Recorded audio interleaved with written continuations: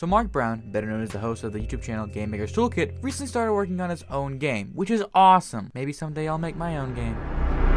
Anyways, he's been recently making devlogs on his game's development on his channel and recently released a demo for his patrons to play, which includes me as of last Thursday. Look, I really want to check out this game. Whatever. Point is, I've played the game and I thought I might as well give some of my thoughts, along with some constructive criticism. So without any further ado, let's dive straight in.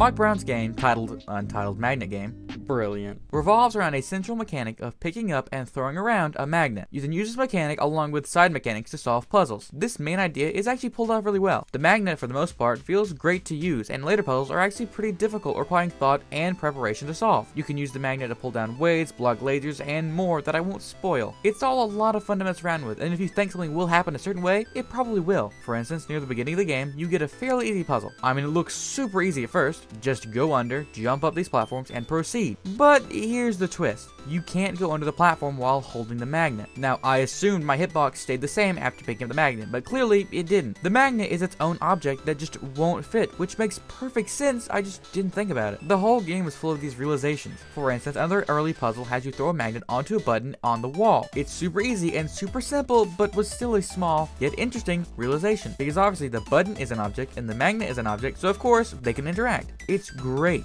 There are more of these realizations, but like I said, I don't want to spoil them all. One of my favorite puzzles has one, and it's right at the end, but I'll let you guys figure it out when the game comes out. So this game does have a lot of good puzzles, and I can't wait to solve more when the full game comes out.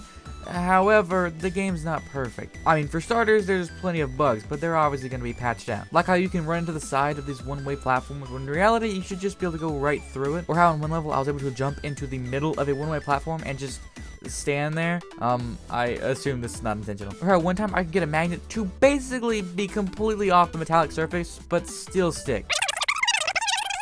But anyways, things like this will most likely get fixed in the full game, because they're just straight up bugs. However, there are some annoyances that aren't explicitly bugs. Like how the game kept having these button prompts that tell me to push X, or square if you're using the PlayStation controller, or I guess Y if you're on Switch, or I don't know, I had an old controller that has a 2 on it.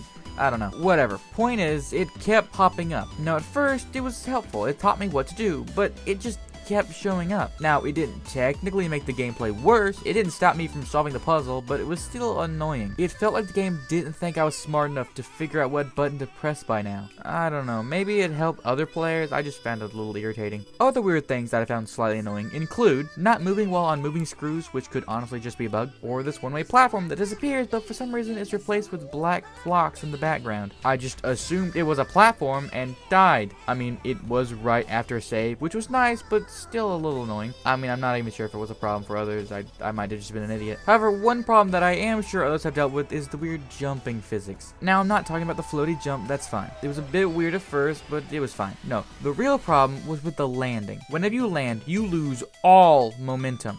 Why? Usually when I play games, I like jumping around because I find it more fun. However, here, it just felt irritating. Having to stop and go momentum sucked. Now, it wasn't the biggest deal. Most of the game takes place in these small puzzle rooms, so being fast was really necessary, but it was still annoying. If Mark or, I don't know, Mr. Brown wants to keep this weird momentum in his game because he thinks it adds to the game feel or something, at least add a small recovery animation so it feels less awkward. But finally, here's the biggest problem I had with this game. It didn't respect my time. Now, what I mean by this is two things. First, remember how I said that the weird momentum stopping jump isn't that big of a problem because you're always in small puzzle rooms? Well, the biggest exception to this is at the very beginning of the game. At the start, you have this hallway that teaches you the basics of the game. How to jump up, across, on buttons, etc. But it does so so slowly. There's this whole area built just to show you that you can jump through this platform, which is important, but also very obvious, and I don't know why they couldn't have just put it right after the jump before it. Why is there so much of a gap? There are many more ways that could have not only saved space, but saved time by moving things closer and even combining them. Like, take this button tutorial for example. Here, you press a button and then go through the door, but you have to jump to get through the door. Why couldn't this have been the jumping tutorial? It's already pretty basic with absolutely no hazards, why why didn't you just lower the door slightly to make it even easier and bam, you've just combined both tutorials in one area. But instead they're separated with plenty of empty space in between. It's it's so weird. The other way the game wastes your time is more understandable. The game's pretty easy. Most of the puzzles didn't require much thought, just doing. The later puzzles though were pretty good. Honestly, I think this is only a problem due to time constraints. Just give it more time and Dr. Toolkit can come up with more difficult, simple puzzles to put at the beginning of the game to make it more interesting before you get to the complex puzzles at the end. I don't really have any suggestions here other than just add more puzzles, but I'm pretty sure he's gonna do that anyway. Now, it may seem like this demo is very unpolished because there's so many simple fixes that could have been made,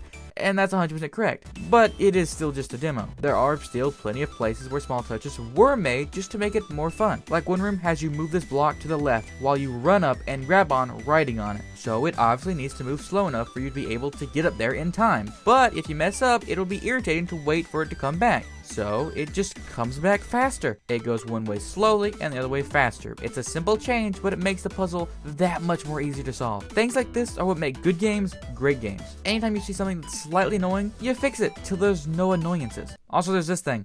I I don't know what it is, but it's clearly supposed to intrigue you and I don't know what to think about it. Anyways, I have high hopes for the full game when it eventually comes out. No idea how long that'll be, but I hope it's long enough for all the corners to be sanded down for this game to be made as perfect as it can possibly be. But with that, that's all I have to say about this demo. I hope you enjoyed this video, and if you can, I suggest you checking the game out. I enjoyed it. But with that, thanks for watching, and I'll see you later. Goodbye. So, um, I hope you enjoyed the video.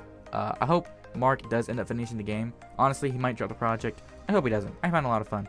Um, also, I wrote a script for this video. Most videos, I just have notes and then try to come up with say as I'm reading them. But this time I wrote like an actual script and read it word for word. Well, I made a few changes while recording, but it's mostly the same, so that was nice.